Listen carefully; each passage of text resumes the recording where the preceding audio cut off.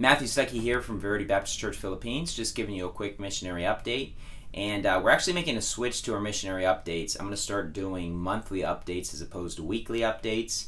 Uh, with weekly updates, there's not always um, a whole lot of information to update on, and uh, sometimes it can be a bit repetitive.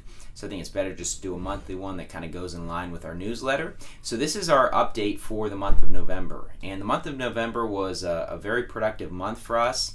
We set a new record for salvations in a month. We had 1,042. So that's our first month where we actually crossed 1,000 salvations between our ministries. And so there's several reasons for this. Um, we had a big holiday the very first day of the month, November 1st, All Saints Day, and we had nearly 50 soul winners spend all day out soul winning. We had about 150 salvations, so that was great.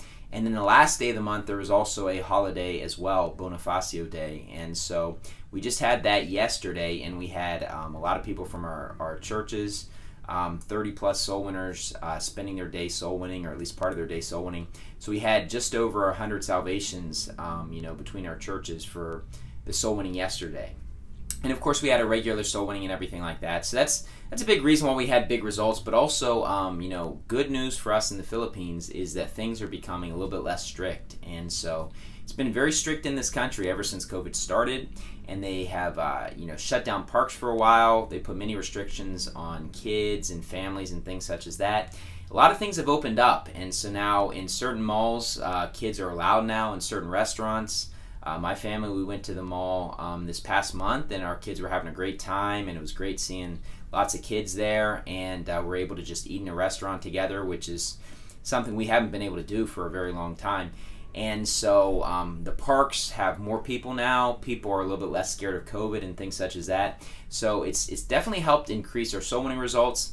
It's also given us a boost in our attendance as well, and people feel more comfortable visiting church for a while here, um, people would say that you know they're just not interested in coming to church because of the virus, because of COVID. They have fears and things like that. But now we're actually seeing more people visit, and we're also seeing um, some people that didn't have the means to come to church start to come back, especially as now things are more open with kids. And so we also set um, an attendance record just this uh, past Sunday, both at our church in Manila, but also combined between our ministries as well. We had a soul winning record. So things are going great. Our, our salvations are great. Our attendance is going great. This past month we had um, you know a big fellowship event at both of our churches. We had our anniversaries. So we had our three year anniversary this past Sunday in Manila. We had a great time. We had a table tennis tournament. We had a bounce house for the kids. So we had a great time overall and uh, food and fellowship. And then we also had our two year anniversary in Pampanga just, um, you know, November 13th, so a few weeks ago. And so things are going well overall. Um, I do want to highlight one specific sermon I'd encourage you to check out if you tune into our preaching from time to time. Um, I preached in our anniversary sermons how to dwell in the house of God forever, how to dwell in the house of God, or how to dwell in God's house forever. And so it was more of a practical sermon as opposed to motivational, just kind of practical steps of what does it take to stay in God's house. Because a lot of times we have the attitude that, you know, I would never drop out, I would never mess up, I would never backslide. And yet we have many examples throughout the Bible of people that backslide. If you've been in church for any length of time, you've seen that people come and people go people serve God and people leave. It's just the way it works. Demas hath forsaken me, the Bible says, having loved this present world. There's many reasons for this, but there's also many steps that we can take to try to ensure the fact that we will not be one of those people that drop out. Because the reality is, our emotions come and go. We're excited about things, and then our excitement dies off. So, what are the steps you need to do? Well, check out that sermon. It's on our YouTube if you want to check it out, and also on our Facebook how to dwell in God's house forever. Now, just to highlight, um, you know, things are going great here, but a couple things just to be in prayer for our church about and things that are upcoming. Things overall are going very well. However, there is some, kind of some things in the news about the new variant where there are some concerns with the government. They are talking about potentially shutting things down and being more strict again. Now, they've said they want to make things open for Christmas time, and so things have really been opening up but there is that possibility as well. And also, depending on where you live at the Philippines, they have various levels of strictness in regards to the vaccine and vaccine cards and things such as that. And so there are people at our churches that have chosen to get the vaccine, and there are people that have chosen not to. And obviously, you know, that's a personal choice that people decide to make for themselves.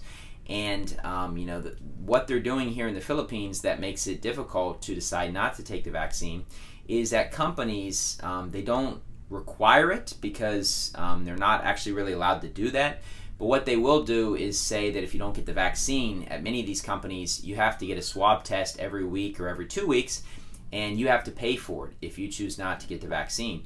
And you know the swab test can be very expensive, so for a lot of people, you know it, you're not going to even make any money then working the job. You're going to pay for all your money, you know, just going to pay for the swab test. So it makes it very difficult. So there are people that could be in transition, looking for different jobs or careers, or making difficult decision, decisions. And um, obviously, those are personal choices people need to make for themselves. But um, it's not an easy solution here. And I know that's a, a true in other places as well. I would especially say here, though, that you know, if you leave one job, you know, the problem is at a new interview, they're going to require the same sorts of things. So it's a very difficult time right now. So just be in prayer for our church family. The other thing is at certain places, um, you know, there are malls that are allowing anybody in. There's also malls, though, that would restrict you if you don't have a vaccine card.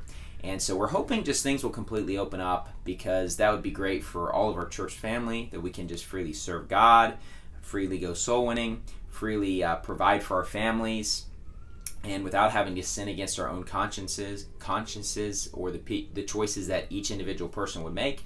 But we're going to see what happens. We do have a big election coming up in May for a new president which is 6 6 years term here. And so things are going to be very interesting before that time. We're hoping though that things will definitely open up so the means of travel will be a lot easier. And overall things are going in a positive direction but just please continue to pray for our ministry that uh, things will be open here and not so restrictive. But, anyways, thank you and God bless.